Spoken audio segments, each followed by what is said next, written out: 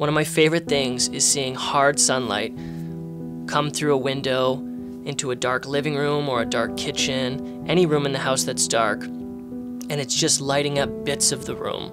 This beautiful sunlight coming in, bringing in something new.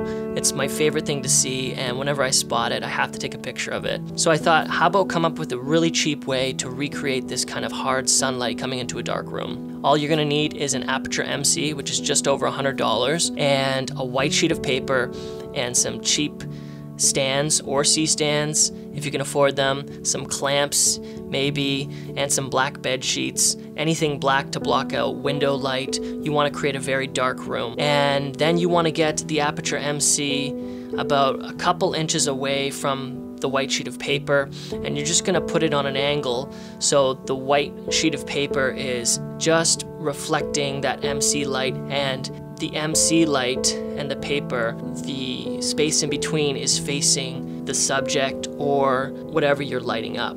And the trick is to have a little bit going on the face, but also have a little bit kind of shining here, right behind the subject. That's what natural sunlight will do when it's coming in hard through a window.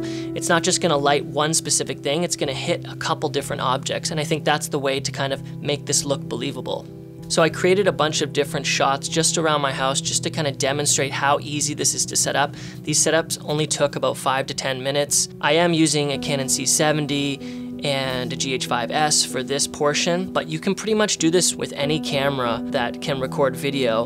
And as long as you're dialing in your settings just right, uh, right now we're at, I think, ISO 800 at f1.4 but you're gonna have to play with it a little bit, but it's pretty crazy that you can create this look with basically a $100 light and a sheet of paper and some stands.